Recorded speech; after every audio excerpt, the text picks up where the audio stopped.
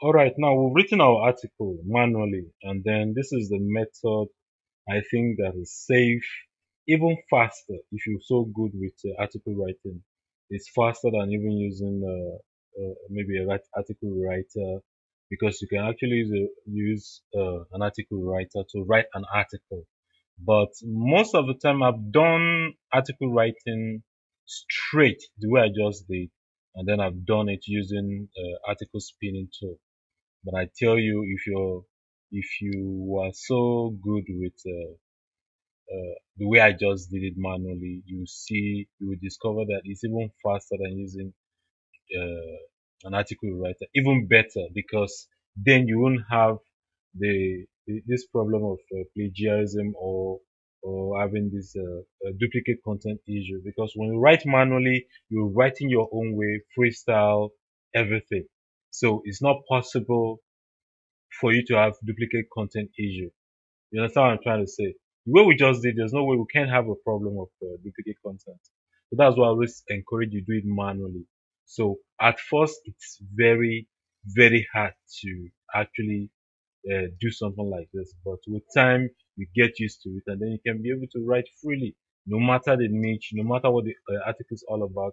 Just do your research, and then you you write something good freely, and then you're writing something like 500, 600 uh, words, so you can actually write something good as fast as uh, possible.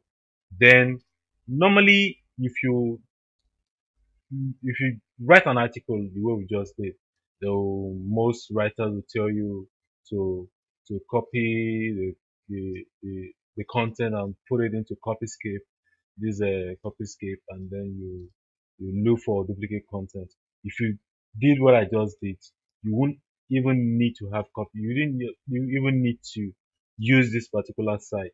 This particular site has a free version has a paid version. So if the the guy, for example, what so if you were to deliver the job to the guy, the guy will just paste, maybe probably put it on his website, and then will now copy the title, I mean the the web, and then put the URL here, and then we're able to check if there's indeed uh, a duplicate uh, version of that listing online.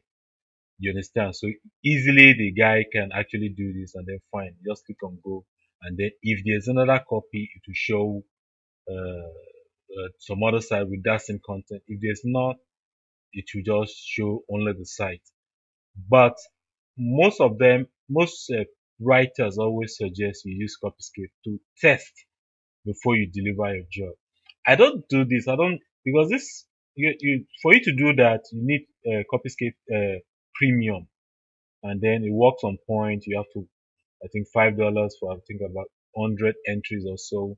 So you have to pay five dollars. You you see it's only five cents per search, which is uh, exactly yes hundred dollars per hundred. I mean five dollars for hundred. For you have to use it hundred times, and then for five dollars, which is cheap by the way. So if you can you can just register Copyscape, then you pay five dollars, and then you can use that five dollars hundred times. You understand?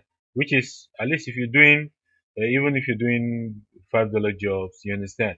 So five dollars times uh, uh, uh hundred, that's about five hundred dollars. So for every five hundred dollars, you're paying five uh, uh, five dollars. So it's like just one use of the of this site will pay your Copyscape. You understand? You pay for your Copyscape. That's what I'm trying to say. So you can come, you register, but I don't actually, I don't feel the need to because when I first started, when I was doing article writing some some time when I first started, I actually uh, paid for five dollars account, and then when I kept, I although I of course all my distance were done manually, so I used this hundred times and nothing came up. You understand? Because I was writing manually. So and since then I I just wake up one day like, why do I need to even pay for premium when I, even though it's very cheap, when I know that uh, I write my things manually and I know it's never going to show up as a duplicate. You understand? So since then I don't. But if you're not too sure, then pay for Copyscape. It's just five dollars. You understand? And then you can check, and then you just just pay, and then you can check. You enter your content after writing it, and then if there's a duplicate content, then Copyscape will tell you there's a duplicate. Then you can rewrite to your taste. But if done manually, the way I just did, then you have a problem. Except you're using a spinning tool. And then definitely in the next uh, video, we'll go to article spinning and then you see how to actually write article with article spinner. And then I'm going to show you a very free tool, a very good one to use. You understand? So you go through that article spinning. You can actually do article spinning jobs too, but you can actually use that to write content. Then if you're using that particular method to write article, then you need this Copyscape. You understand? Because article spinning can never give you the same result, result as uh, writing uh, manually. So I hope you understand what I'm trying to say. So just write manually and then you you won't uh, need this Copyscape.